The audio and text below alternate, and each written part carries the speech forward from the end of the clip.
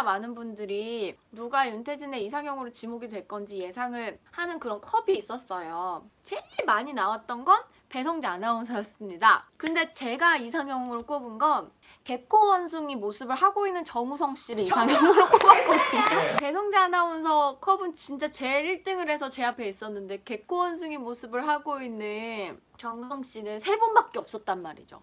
근데 그 가운데 제가 이제 뽑은 사람은 누구였냐면 궤도 오빠 짱팬이라는 분이셨어요. 그런데 말입니다. 궤도 오빠 짱팬님 어디 계시죠? 했는데 여기요. 접니다. 라고 남성분이.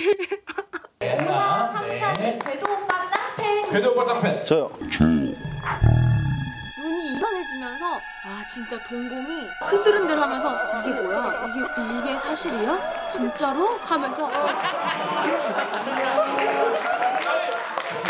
배신감이 밀려오는 표정이 이런 표정이구나 싶을 정도로.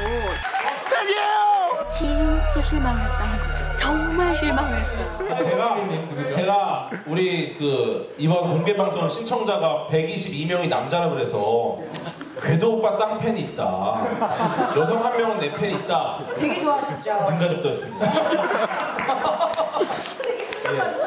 그런데 말입니다. 그런 걸 제가 살면서 처음 봤어요. 아, 사람이 배신감이 밀려오는 표정이 이런 표정이구나 싶을 정도로 진짜 눈이 눈이 이만해지면서 아, 진짜 동공이 흔들흔들 하면서 이게 뭐야? 이게 이게 사실이야? 진짜로? 하면서 아, 진짜 어떤 분이 여성분이신데 내 진짜 팬이다. 공개 방송에도 신청하셔서 직접 오신다. 진짜 내 완전 광팬이라고. 우리끼리 맨날 얘기하고, 어, 오빠 진짜 어떻게 이렇게 여성분이 오빠의 광팬이야. 이러면 공개 방송에도 드디어 오빠를 보러 오네. 진짜 광팬인가 보다 하면서 했었는데 알고 보니 군필 여고생이었어.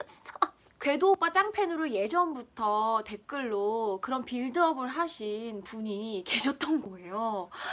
와, 그때 그 소름. 끈질기게 그 진실을 추적하지 않았다면 누구도 아무도 우린 끝내 알지 못했을 겁니다. 어쩐지 좀 섬뜩해집니다. 우리 사회의 정의가 반드시 이루어져야 한다고 믿기 때문에 한 조각도 남김없이 맞춰지기를 진심으로 바랍니다.